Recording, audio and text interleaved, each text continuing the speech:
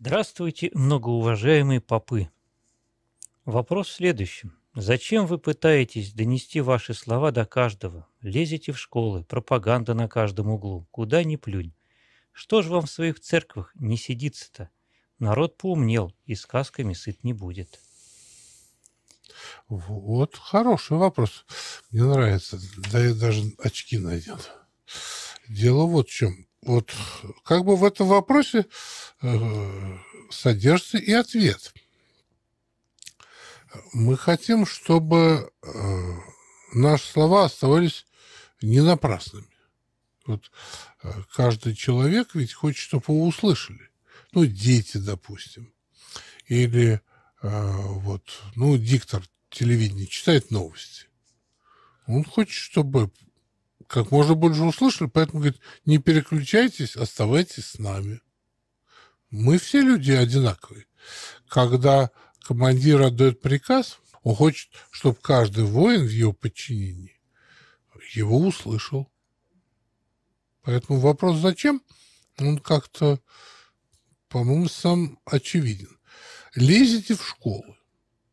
Ну вот, не знаю, я никогда сам не лез, а, например, приглашать очень э, довольно частенько приглашали. Был такие годы, ну, это 90-е, правда, когда вообще чуть не каждый день звали на расхват. Было интересно, люди, они открыли для себя. Вот. Ну и потом, все-таки у нас 80% населения говорит, что они православные.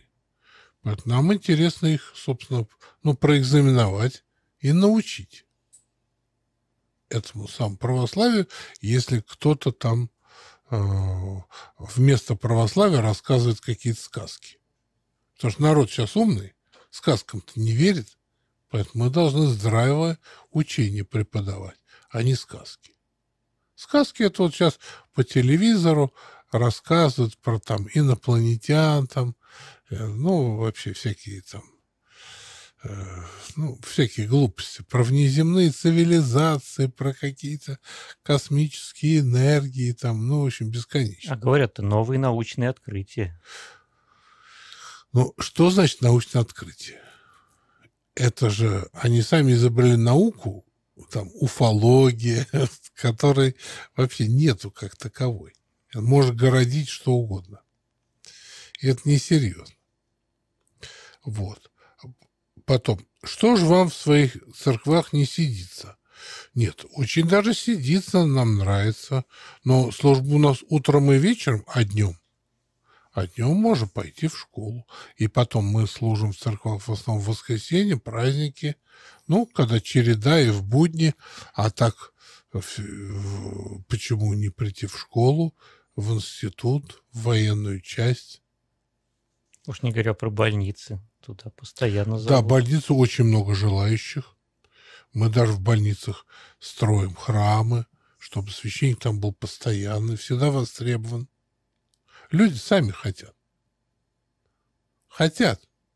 И военные хотят, и штатские, и мужчины, и женщины. И вот очень уважают. Вот как вы говорите, многоуважаемый. Вот везде почет и уважение. Куда ни придешь, в лифт первого тебя пропускают. В больницу прихожу, даже никто не говорит, надень бахилы. Сам надеваю. Ну, потому что медицинское учреждение.